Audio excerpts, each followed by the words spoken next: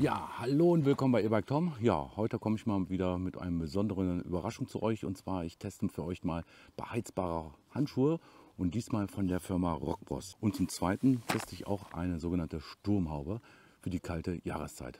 Und alles weitere dazu folgt dann jetzt gleich nach dem Intro. Bis gleich.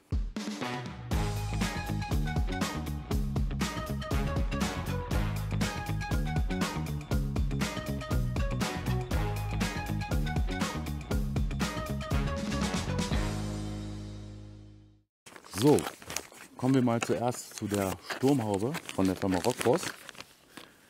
Das ist diese hier. Und diese Sturmhaube hat auch dann die Besonderheit, dass sie hier nochmal einen speziellen Mundschutz hat. Und ich blende euch auch mal ein paar Bilder ein. Ich habe sie vorher schon mal angezogen. Und des Weiteren hat diese Sturmhaube auch hier dementsprechende Schlitze für die Brillenträger, beziehungsweise auch für diejenigen, die mit Windschutzbrillen arbeiten, dass man hier die Brille vernünftig dann tragen kann. Ja, das ist das Erste. Und dann kommen wir mal zu den Handschuhen. Das sind hier die Handschuhe. Zu den Handschuhen wird auch mitgeliefert natürlich Akkus in der Zahl 2. Und enthalten ist auch dementsprechend ein Ladekabel. Das heißt, wir haben hier einmal den Anschluss, um die Batterien aufzuladen. Und auf der anderen Seite ist der Anschluss für die Handschuhe. Dann haben wir hier oben dementsprechende Powerknopf, wo euch dann angezeigt wird, wie weit der Akku aufgeladen ist. Maximal drei LEDs. Erste LED ist 100%, zweite LED ist 50%, dritte LED ist 25%. Ja, das Aufladen selber, das erste Aufladen soll dauern hier circa um die sechs Stunden.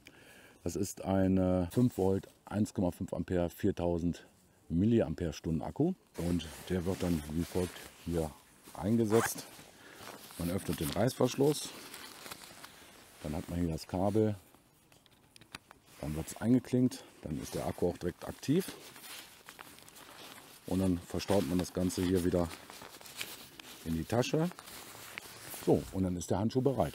Ja, von der Verarbeitung her der Handschuhe muss ich sagen, macht es erstmal einen guten Eindruck. Die Handschuhe haben auch Touchfunktion, einmal am Zeigefinger und einmal am Daumen. Und dann haben sie noch einen Gummizug, eine Schlaufe zum Festbinden und dann gibt es hier vorne noch einen Gummi zum Ausziehen der Handschuhe. Kann man dann hier vorne an der Schlaufe dementsprechend zack, den Handschuh wieder ausziehen. Macht erstmal einen guten Eindruck. Diese Handschuhe sind winddicht und wasserabweisend sollten aber nicht mit der Waschmaschine gewaschen werden, sondern nur mit Handwäsche. So, durch längeres Drücken hier auf der Power-Taste kann man die Handschuhe dann einschalten und dann leuchtet auch dementsprechend das LED. Grün ist die niedrigste Stufe von 40 bis 45 Grad, blau ist die mittlere Stufe von 50 bis 55 Grad und rot ist die höchste Stufe von 60 bis 65 Grad und dass der Preis aktuell bei ca. 70 Euro im Angebot liegt bei der Firma Rockboss auf der Internetseite. Den Link zum Produkt habe ich euch hier mal im Video eingeblendet und mit dem Code eBikeTom könnt ihr noch ganze 10% sparen. Ja, dann werden wir nicht an dem heutigen Tag, aber morgen früh die Handschuhe testen, weil morgen soll das dementsprechend unter den Gefrierpunkt werden und dann werde ich die Handschuhe in den einzelnen Stufen dann ausgiebig testen und dann sehen wir uns morgen. So, guten Morgen erstmal allerseits. Ähm, ja, heute ist es mal richtig kalt. Ja, wir haben jetzt aktuell minus 1 Grad und jetzt fange ich mal an, die Handschuhe hier von der Firma Rockbros zu testen. Ja, mal schauen, wie die sich bewähren. Power geben. So, ihr habt es gesehen. Der Akku ist jetzt eingeschaltet. Und jetzt müsste ich nur noch drücken. Zack. Und jetzt bin ich direkt schon auf Rot. Ja, wir haben es auch kalt genug. Dann mache ich erstmal auf Grün. Fange ich erstmal mit Grün an zu testen. Gedrückt halten. So, jetzt haben wir erstmal grün. Und jetzt fahren wir mal 10 Minuten und dann schaue ich mal, wie hier die Wärmeentwicklung ist. Ich merke schon beim Anziehen. Ja, ich kann schon beim Anziehen merken, dass hier eine Wärmeentwicklung ist. Ja, und hier oben merke ich schon dementsprechend, wie die Wärme von diesen batteriebetriebenen Handschuhen funktioniert. Kann ich schon deutlich merken. Ja, das kann ich schon merken.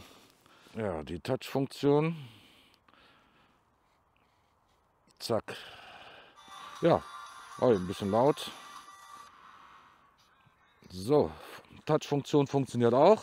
Das heißt, ich stelle jetzt mal hier um auf Blau. Blau ist ja die zweithöchste Stufe.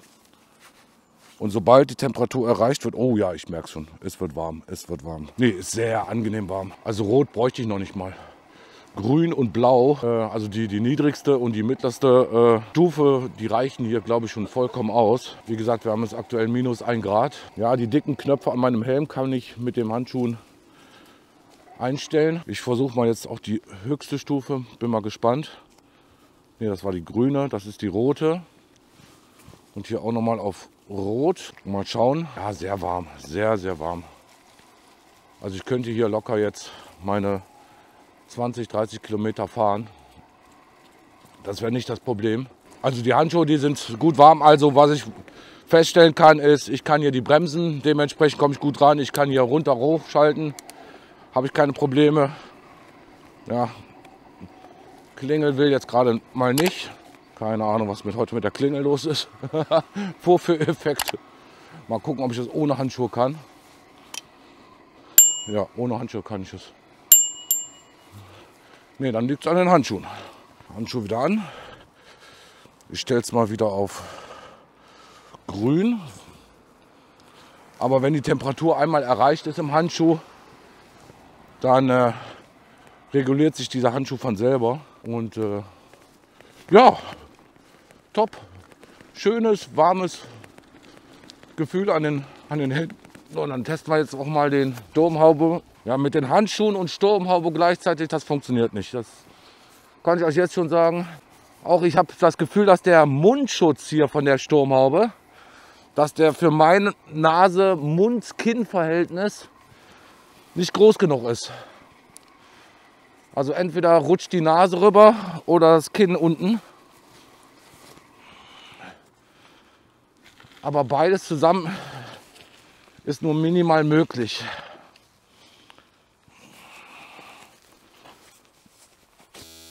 Ja, ja, und gleichzeitig muss ich euch hier noch filmen, damit ihr das alles mitbekommt. Ja, aber die Handschuhe sind gut. Die Handschuhe sind gut. Man müsste jetzt halt äh, auf Dauer testen, wie lange sie, der Akku reicht. Ich habe mir hier, äh, ja wie gesagt, ich blende euch nochmal die Akkulaufzeiten der einzelnen Phasen, die es gibt, blende ich euch nochmal ein. Zu leicht, mittel und zu hoch. Aber ich finde, dass diese, ja, diese leichte Variante hier, diese grüne Variante mit 40 Grad oder 45 Grad, die ist schon vollkommen ausreichend. Die ist vollkommen ausreichend für die aktuellen Temperaturen. Wir haben es ja nur in Anführungsstrichen minus 1 Grad aktuell. Und da reicht es vollkommen aus. Und die Handschuhe sind ja auch ausgelegt bis minus 20 Grad. Und ich denke mal so bei minus 10 müsste man die mittlere Stufe verwenden, wenn man jetzt länger draußen unterwegs ist. Und bei minus 20 dann halt die höchste Stufe aber bei minus 10 sehr angenehm warm. Sehr schön. Gefällt mir gut. Ja, hier meine Display kann ich bedienen. Ich habe die Handschuhe mir in der Größe XL geholt. Und ähm, ja, ich habe das Gefühl, die sind ein wenig zu groß. Aber lieber zu groß als zu klein. Ja, und äh, den Link zum Produkt findet ihr natürlich in meiner Videobeschreibung. Und mit dem Code eBikeTom könnt ihr auch noch hier 10% sparen und kommt dann mit ja, guten Handschuhen durch den Winter, würde ich sagen. Mal eben schauen. Rot, Blau, Grün. Ich versuche es mal nochmal auf Rot. Zack, hier auch. Ja, ich merke auch direkt, wie, wie es dann wärmer wird. Ja, kann ich direkt merken zwei, drei Sekunden und dann merkt man, dass es wärmer wird. Ja, und jetzt könnte ich hier meine schöne Wintertour machen. Also klappt super. Ja, und auch hier zum, äh, zu der Sturmhaube. Die funktioniert auch prächtig. Ja, sehr schön, sehr schön, sehr schön. gefallen mir sehr gut. Ja, dann kommen wir mal zum Fazit der Handschuhe, würde ich sagen. Ah, so, mache ich mal die Stummhaube wieder runter. Ja, wie ihr seht, es hat ja gefröstelt diese Nacht. Also ich muss sagen, die Handschuhe sind tipptopp. Die sind richtig tipptopp. Ähm, ja, aktuell sogar noch im Angebot bei Rockbros und funktionieren super. Also ich hätte jetzt hier locker meine 2-3 Stunden Tour fahren können. Ähm, leider muss ich nämlich noch andere Handschuhe testen. Die zeige ich euch nämlich die nächste Woche. Die sind noch mal einen Ticken, ja, einen Ticken besser, wollte ich schon gerade sagen. Aber lasst euch über, überraschen. Ich will jetzt hier nicht so viel spoilern. Ähm, aber wie gesagt, dieser Handschuh hier von Rockbros kann ich wirklich gut empfehlen. Die Wärmeleistung ist vollkommen ausreichend. Was ich hier jetzt bei minus 1 Grad getestet habe, allein schon auf der Stufe grün, war hier vollkommen ausreichend. Vollkommen. Und da bin ich mir auch relativ sicher, dass ich hier meine drei Stunden Touren fahren kann, ohne dass dann die Hände äh, nach, nach einer halben oder nach einer Stunde kalt werden, wie bei meinen bisherigen Winterhandschuhen. Das wird mir mit diesen Handschuhen definitiv nicht passieren. Und darüber bin ich jetzt sehr, sehr glücklich. Das heißt, wenn euch das Video gefallen hat, würde ich mich über einen ja, Daumen nach oben freuen. Und um keine weiteren Tipps und Tricks zu verpassen, abonniert meinen Kanal, aktiviert die Glocke. Wie gesagt, nächste Woche kommt das nächste Video zu beheizbaren Handschuhen. Wie gesagt, dann habe ich da nochmal besondere beheizbare Handschuhe für euch mitgebracht und teste die jetzt auch gleich. Und da bin ich auch gespannt. Und dann sehen wir uns nächste Woche. Ciao, euer Tom.